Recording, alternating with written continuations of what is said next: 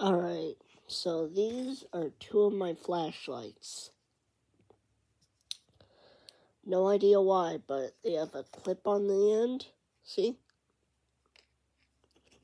And they're cool. They're really, really cool.